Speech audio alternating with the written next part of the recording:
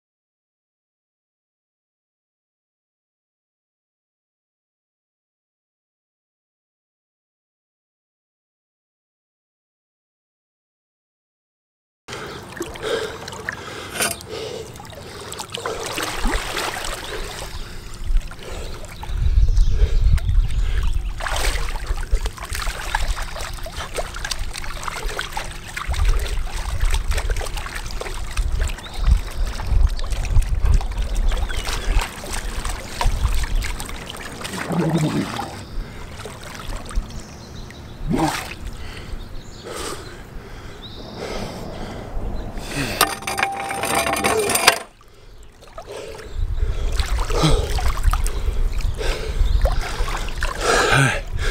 creative.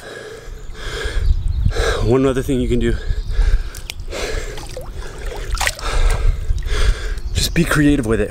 Another thing you can do, you can take a water bottle, like a, uh, a one gallon or more gallons, and poke a hole in the bottom of it, fill it full of water, and then put it over your head, tread water, and it gets lighter as the water drains, but it's certainly hard.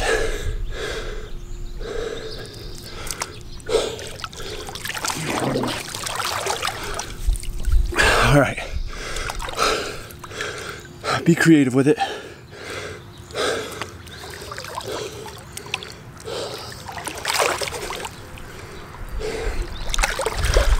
All right. Be creative with the uh, egg beaters. You can take a gallon jug, like a milk jug, fill it full of water, and because it has a big spout on the top, go in the water, flip it over, and it'll start pouring out on your head. You gotta tread water until all of that is out. I'll do a video of that next week.